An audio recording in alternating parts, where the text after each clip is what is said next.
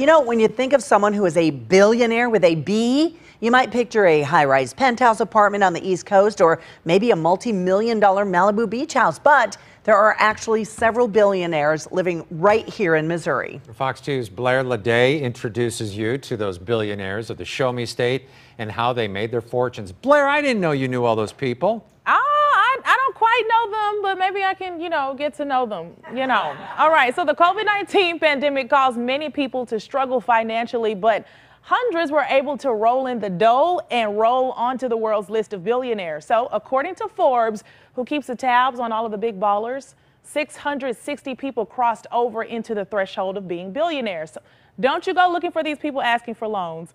But the journalistic data website Stacker used the Forbes information to find out who the billionaires are right here in the state of Missouri. So if you need some ideas on what fields to get into to see those big dollar signs, we have those too. So here we go. Six people from the Show Me State made the cut.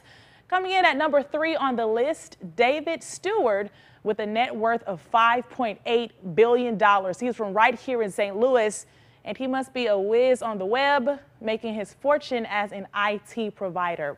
Then counting down to number two, John Morris, hailing from Springfield, Missouri. Who says small town people can't make big waves? He has a net worth of $6.5 billion, according to the Stacker report, and he makes his plays with sporting goods retail.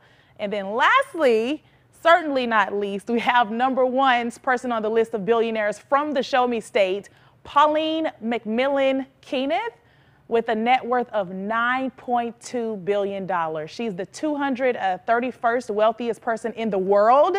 And just think about this the world. This baller is a lady. She's from St. Louis and she rakes in all of this dough with Cargill. This is the largest food company in the world, according to Forbes. She holds a 13% stake in the food production industry, working with farmers and just about anything related. So there are more people on that list. This is a hot story on our website, fox2now.com. You can see that full list there. Long story short, you do not have to head off to New York City or LA to get to the money, guys. That's right.